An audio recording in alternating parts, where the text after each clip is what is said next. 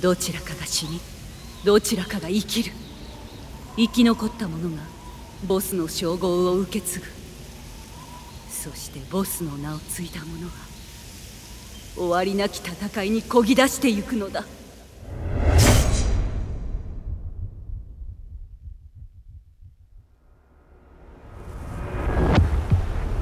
こちらスネーク。聞こえるか？スネーク？本物のスネーク？あなたなの？パラメディックか？ここはどこだ？どういうことだ？少佐はどうした？ゼロ少佐は一昨日軍に拘束されたわ。彼には国家反逆罪の容疑がかけられている。少佐が？あなたもよスネークあなたがその反乱の首謀者だと軍は思っている。俺が？バカな。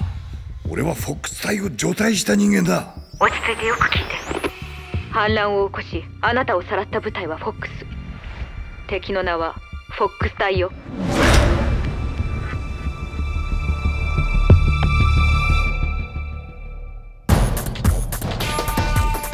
君の潔白を証明したければ我々に協力するんだ。君に依頼する任務は2つ。反乱軍を統率しているフォックス部隊の隊員を無力化すること。そして強奪された超装備の破壊だ。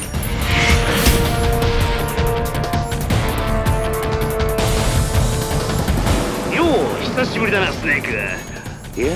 ビッグボスだったな。ミスターシギント。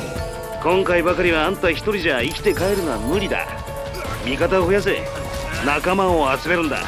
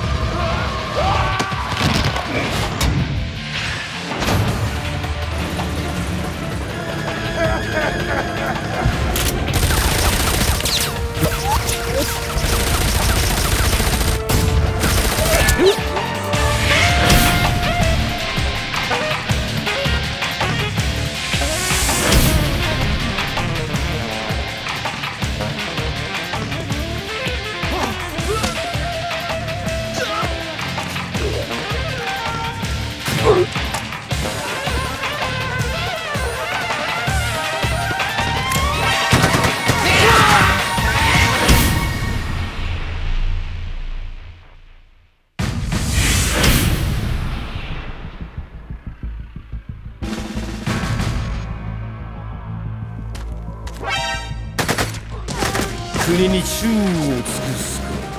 それとも個人に忠を尽くすか。国か恩師か。任務か思想か。組織への誓いか。人への忠か。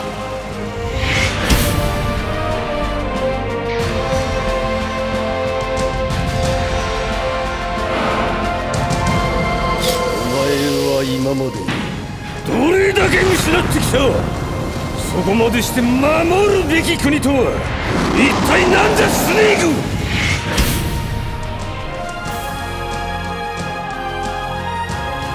君が新しい部隊の長になるんだフォックスを狩る者フォックスハウンドの誕生だ。